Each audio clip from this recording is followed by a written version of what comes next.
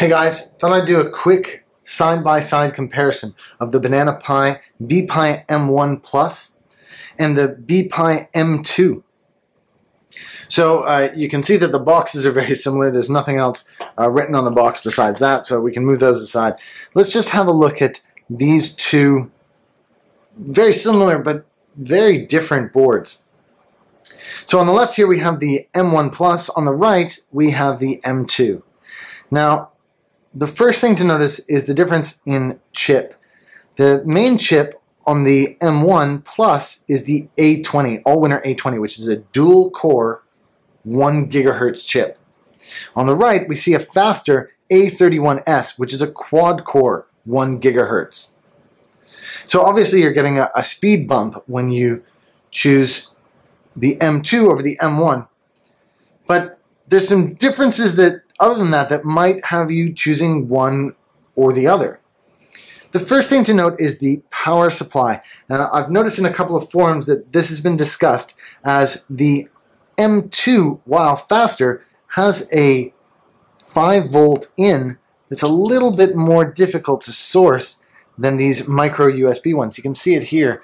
It's, it's kind of a rod push version. Uh, so that means you're going to have to find a power adapter that's going to work. Uh, I'll have a look for you on Amazon and post that link on screen uh, now and in the About section if you need one of those.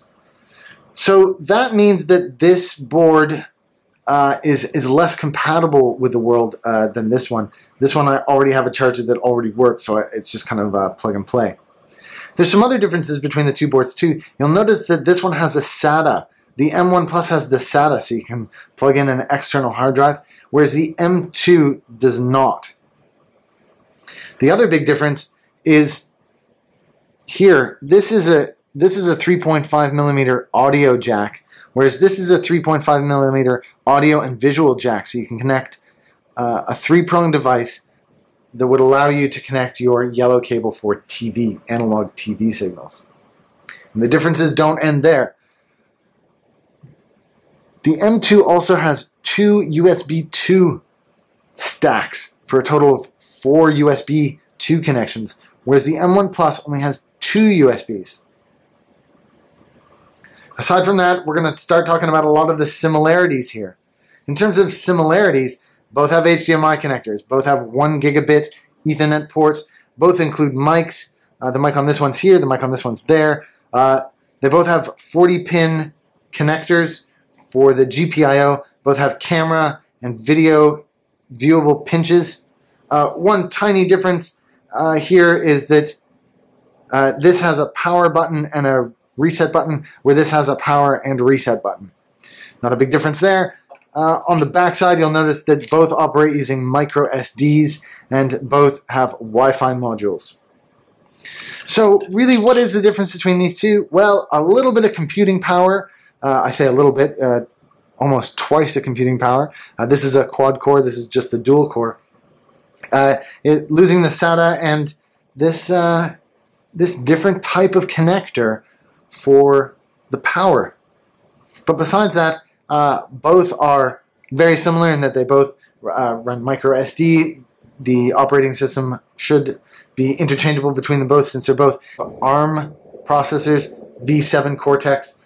So Again, uh, and with their one gigabyte of RAM each, they're very capable computers in their own right. Again, I particularly love these Banana Pis because of these gigabit Ethernet connectors. Uh, but, you know, I can understand that uh, some people might buy them not because of that, but because of the Wi-Fi modules on them. Both of them, of course, have these UARTs uh, if you want to do any debugging or anything, if you want to embed these devices, they both have uh, little tiny boot buttons in there as well. I'm really looking forward to getting these up and running. If you have any questions or anything you want me to check out on under the boards, of course I'm happy to do it. Don't forget to check out my individual reviews. I have a review for the uh, an unboxing for the M1 Plus, and I have one for the M2 as well. Both are uh, pretty interesting. Both reveal a little bit of detail about these boards you know, I, I am a fan of these uh, Banana Pis uh, as an upgrade over the Raspberry Pis. But the Raspberry Pis are great, don't get me wrong, but these Banana Pis, uh, just even having these gigabits and the built-in Wi-Fi, I mean, it just adds a little bit of a little bit of oomph there. Uh, onboard microphones again are, are useful if you're going to do an application that includes like includes something like that. And of course, the LVDS monitor display, which is unique at the moment to Banana Pi. They've certainly beat Raspberry Pi to the punch on that one. So uh, some pretty capable little boards here. Definitely worth checking them out, uh, seeing how expensive they are in your area. You can see that these two uh, won't be compatible with the same sort of uh, case because of that USB mount and where exactly it is. And of course the SATA, so the mounts are a little bit different. Again, you know, you really do need to think of these as two different models that do different things.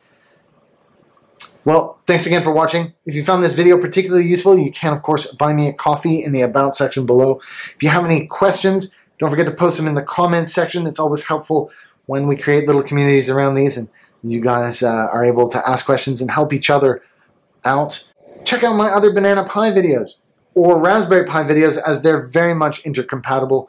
Uh, lots of cool projects I'm up to with these things. Uh, lots of fun things that you can do with small Linux-based devices like these. Great little devices. I think they're really cool. Don't forget to check back soon as I do a head-to-head -head comparison of them running. Thanks.